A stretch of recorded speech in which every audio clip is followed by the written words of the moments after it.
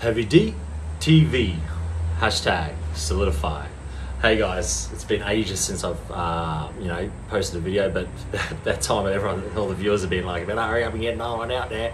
Um, so um, I just sat down to have some lunch, and I thought, "Oh, I better finish this uh, personality plus off." Um, so we really have to um, just nut out just a little bit about the uh, introverts.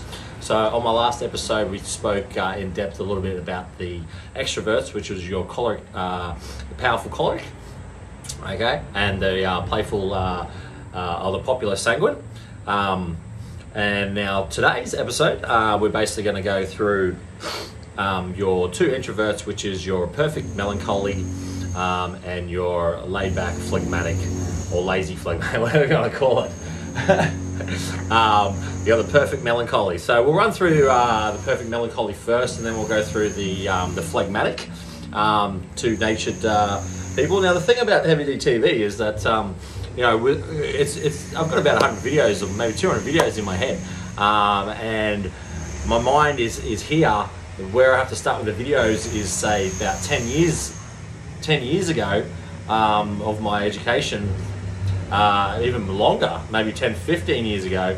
And then I have to try and obviously uh, get everyone caught up um, so I can keep progressing and going on and on. So we're going to wrap up the, uh, the personality traits. Now remember these personalities, these are traits, okay? So these are found in your DNA and it's, uh, it's the way that you think, intake uh, information, uh, process it, and then obviously deliver uh, information to. Now, um, Personality Plus is the book. Um, get a hold of it, or you can Google um, Personality Plus and read out about the uh, the four temperaments. Um, and also on Heavy D TV, we go through astrology. Um, now, the whole thing is to obviously find out your personality, better yourself, be confident, know your good traits, your bad traits, make yourself work better for you. Okay? Then get really, really good at that. Learn about other people. Um, pick up within three to ten seconds. Um, you should be able to pick up people's traits, characteristic traits, their temperaments. Um, and there's a whole lot of things that um, you know you need to go through first. And I'm starting with the um, the temperaments, obviously, personality temperaments. So, out of the choleric, the sanguine, the melancholy, and the phlegmatic, we're going to run through the melancholy and the phlegmatic. Now, the melancholy. Wow, what can I say about the melancholy? Well, the melancholy is uh, is the type of person at school, okay, that gets their work done. Okay, they get their homework done, they dot the i's, they cross the t's, they're quite perfect. Okay, and if they notice somebody doing something not so perfect or taking shortcuts, it really gets to them. Okay, they are all about the facts and the truth. Uh, they do not want to learn something from a sanguine who's got a story that is exaggerated and it might not have happened. A little twists and turns here to make the story sound better. No, they will ask questions after questions to find out. Information people, these people are melancholists. Okay, now melancholists are very smart because they are information people. So you'll find melancholists basically, um, you know, maybe in uh, a lot of uh, desk jobs, IT, um, stuff like uh, computer work, uh, spreadsheets, uh, accountants, stuff like that. Um, doctors, uh, melancholies basically uh, do extremely well when it comes to um, learning information uh, and doing things the right uh, way. They can be very analytical of everything because obviously they are, you know, trying to be perfect melancholy and they expect everyone else to kind of be, you know, if they're not on their path or on, their on their same path when it comes to communication or relaying information or stories or helping somebody out. Um, so they're, they're, they're the good traits. Now the bad traits about the melancholies is um, they can be quite analytical and judgmental, uh, and things have to be done, you know, perfectly their way. The only thing about the melancholy is that they uh, they take their time. Okay, um, they won't go out and um, you know build a um, a project, say a cabinet or something, without reading the rules first, doing it step by step, uh, having everything laid out, all the nuts, the bolts, everything in its position first, and then they will attack.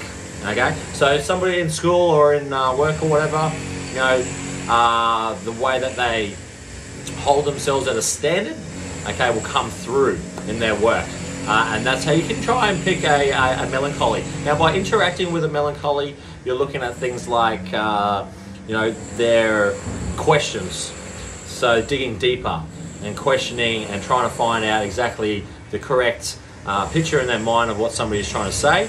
And they're very interested to find out information um, so they can obviously learn themselves. Uh, now, So that's basically the melancholy. Now the melancholy kind of clashes a little bit with the uh, the choleric um, and also the sanguine, which are the two extroverts. Uh, they'll clash with the choleric because of uh, you know debating who's right or who's wrong. Um, the choleric always thinks they're right. The melancholy, they think they're right too because they've got the facts to back it up. The thing about the choleric is that sometimes they don't have the facts to back it up. They learn as they go. Yeah. Now with the sanguine, um, the sanguine uh, extrovert, uh, the melancholy can get quite frustrated with the sanguine because the sanguine is completely not perfect. Okay, it's completely the opposite to perfect, and they just free flowing, just making stuff up as they go, talking as they're going, and there's no real plans. They, they can't stick to any structure. Um, they interrupt people. Um, they always want to be the loudest. Their stories are exaggerated, like I keep going on about it, and they fluff it up a bit so it sounds really you know, impactful. Um, so that can be quite uh, annoying for the melancholy, and they will pick out a uh, sanguine, and they will be like, "Oh yeah, well, full of shit." uh, wasn't he full of shit, or something like that? You know what I mean? Um, now with the um, the phlegmatic, now the phlegmatic is the other uh, you know introvert. Now with the phlegmatic introvert, uh, they're the quiet, they're the laziest, the quietest, the most easiest going people that you can find. These guys do not get angry. They're very emotionally stable. They keep them thoughts to themselves. They're not judgmental. Um, they they just go with the flow. Um, they will not talk back. They will not even uh, you know add their opinion. They they're basically um, you know the most uh, calmest. Uh, they do not like to have confrontation. Um, but the thing about the phlegmatic is that, um, you know, when they've decided that they don't like you, then that's it. they don't like you. Um, but it's very hard to get a phlegmatic not to like you. Uh, and you won't even hear about it or know about it if this phlegmatic likes you or not because they won't tell you nothing. Um, now the thing about the phlegmatics is they're quite lazy, so if they've got some melancholy in them, um, then they're thinkers, okay, but then they've got the higher percentage of phlegmatic, which means they're, they're not doers, okay, they're not like cholerics and, and do. So they're sitting there in life and then they, they, they rarely move house, they rarely move job, they rarely bloody go, like they rarely stop their structure, okay, they're, they're not spontaneous, um, they're routine people, structured people, they're quiet people, laid back, easygoing, they can't make decisions. Um, so, fucking perfect, right? You're like, yeah, I want one of them. now, that's all good, like, you know what I mean? But the thing, the bad thing about the um, phlegmatics um, is that their energy levels, they're not very motivating, okay? So, you know, the you can have in-depth conversations with them. So melancholies and phlegs, you know, they kind of get along. Cholerics like to lead, phlegs like to follow. Okay, so they kind of get along. Sanguines, you know, they're the they're the life of the party. They're the attention seekers. So they, they like being around phlegs too. So everyone likes the phlegs. Um, but the thing is that uh, you get bored of the phlegs. Okay, they don't offer too much when it comes to energy and um, atmosphere and environment. Um, and connection and all that sort of stuff. Uh, and it's very hard to, to know exactly what they're thinking. Uh, and they'll give you like a, just a one word answer, and then you're kind of going, oh, um, um, okay, well, surely there's more behind it. But they won't. That, that's it. It's just straight up answer question. Um, you have to keep asking questions to get a phlegmatic to keep talking. Um, so, so they're introverts. I'm not going to make the video too long. Um, just uh, nice little quick ones. Uh, and I always obviously keep going over everything each video anyway, just to kind of refresh and update uh, you guys with the personality traits and the temperaments. Now, I will finish off by saying that um, you know, the key fundamental things that make up a human being, a person. And with Heavy D TV, uh, with the education side of it, you know, we're going to be delving down uh, a lot. We're going to be covering the brain, the body, hormones, functions, attitudes, emotions, reactions, uh, society, relationships, um, also uh, personalities, traits, uh, temperaments, personality traits, uh, like your astrology, star signs, um, you know, your upbringing. So from zero to seven, so your parents, looking at your parents and your upbringing and how that's different to somebody else, also defines you. Um, and then obviously your, your experiences, okay, defines you. So we're running through that. And then you also got your influences, obviously, which is kind, kind of what's currently going on in you in the moment. Now, yes, the thing is, it's very interesting when you when you when you think about that, and then you try and put somebody in front of you for an experiment, and then you've got a goal to find out everything you can about this person. So you ask them everything, right? From their fucking from zero to where they are now, how they got there, what they've gone through, and where they go, and what sort of people they hang out with, and their, their life experiences, and from that you can gather, okay.